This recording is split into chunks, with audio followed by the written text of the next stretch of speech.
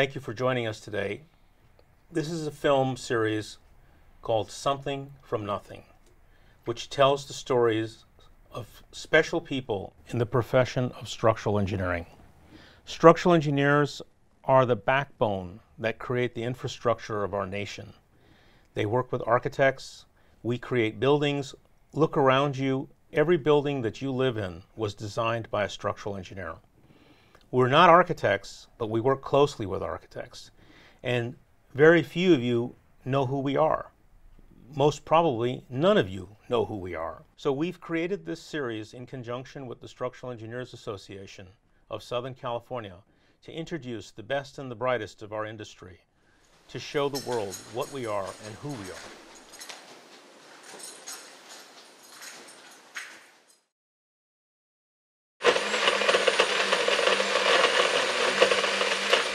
So I, I realized that having like a routine specifically, I realized I perform a lot better. I realized that if I have this kind of control over um, like my fitness and like my food, then I could take control of like other parts of the day, like specifically like my stress and like I have more like mental clarity, especially at work.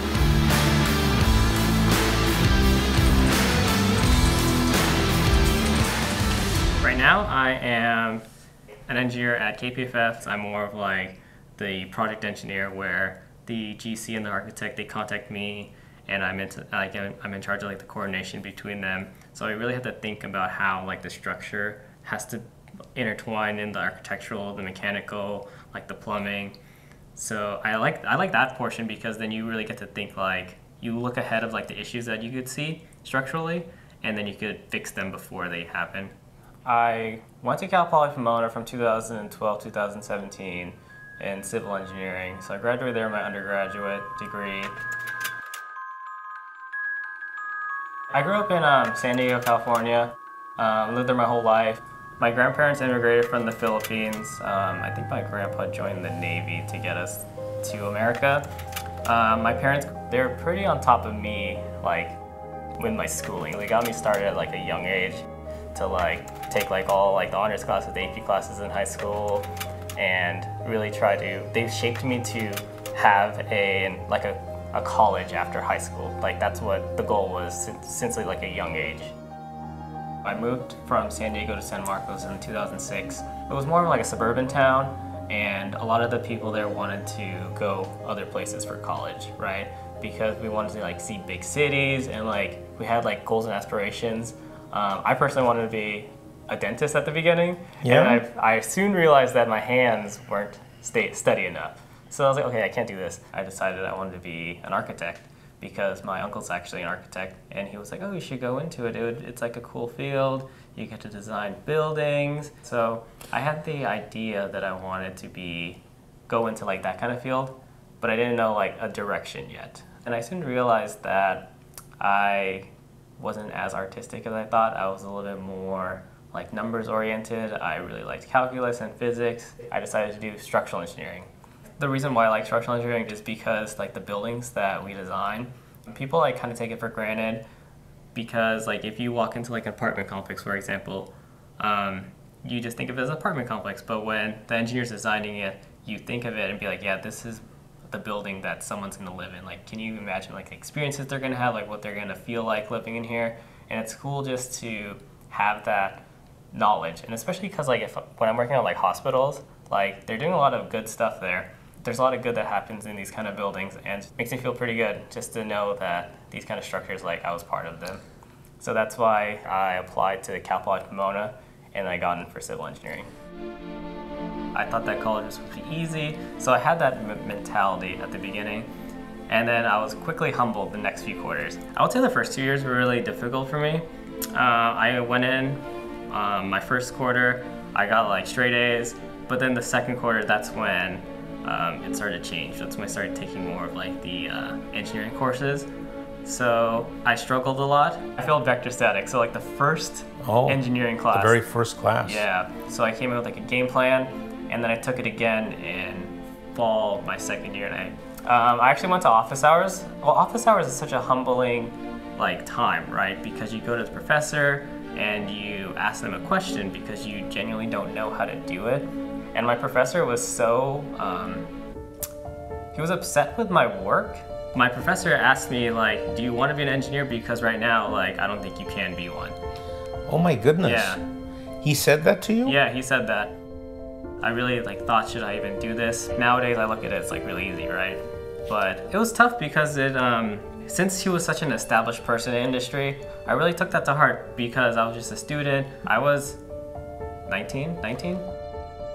I was so close to passing. I got a D or a D plus, so I was like really, really close. But I was, I had to stay like, I had to persevere through it and say and have resilience during this time because I rethought. I was like, maybe I'm not doing like every single thing I could do at this point in time because I was still I was studying with people, but I wasn't taking like extra help and stuff like that.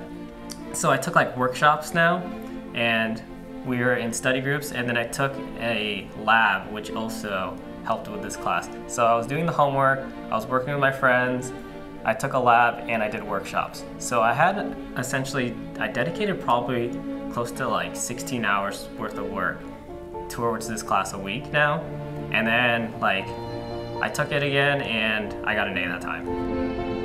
Third time I set the curve every time because Wow. I put in I put in like so much more work than I did the first time. I used to be like super sensitive about like what anybody any criticism that people say, but nowadays like I realize that in my in, in the industry you're gonna make mistakes and you just gotta own up to it and if you make the mistake again you'd usually get a pass, but then after that you have to learn from it. Because I feel like if you put in the work and you do like every single thing to push yourself through it and have that like mental toughness, you'll feel so much more accomplished because you reached your goal at that time. And like setting those like little micro goals will help you like loads in your career.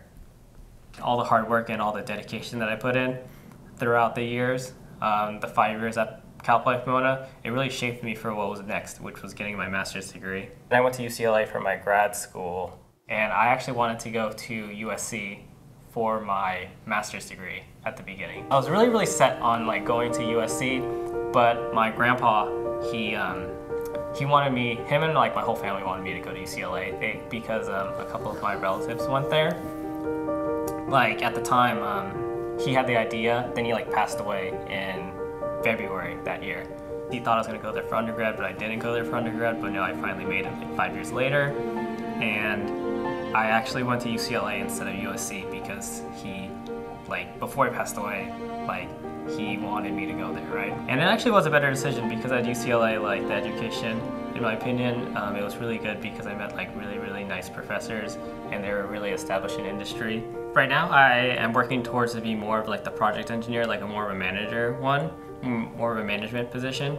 Um, I would say that this kind of stuff, like they don't teach you in school, like interactions between like the GC or like the architect. So it's like things that I just pick up on based on experiences, right?